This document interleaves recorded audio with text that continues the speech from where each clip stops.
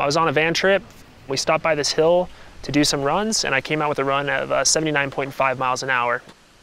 And that's what really lit the spark for speed for, for me.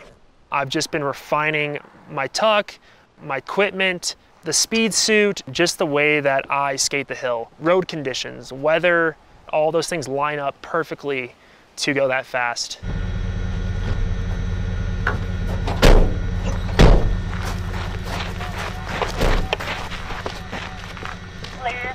Spot up.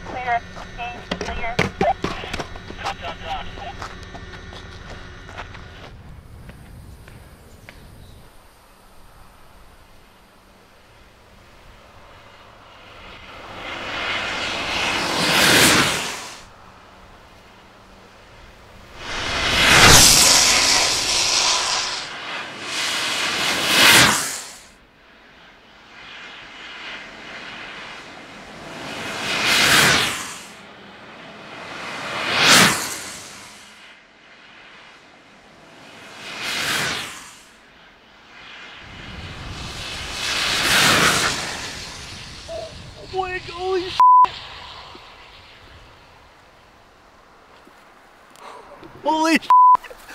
Holy What's that reading? Holy That's 89.41.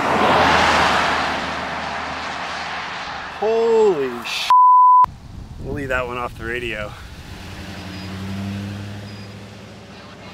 Give us the numbers. Dude, did you change your wheels? Yeah. Um, 89.41.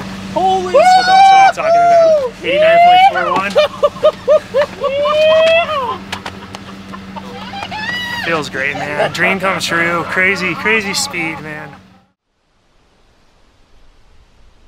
I think that for downhill skateboarding as a whole, um, this is very good and this is just pushing us in the right direction and we don't know what the limit is. And that's what's so inspiring and like makes people want to do this stuff. It's just gonna get, make people get out there and really push their limits and see what is possible on a skateboard. And that's why I do this.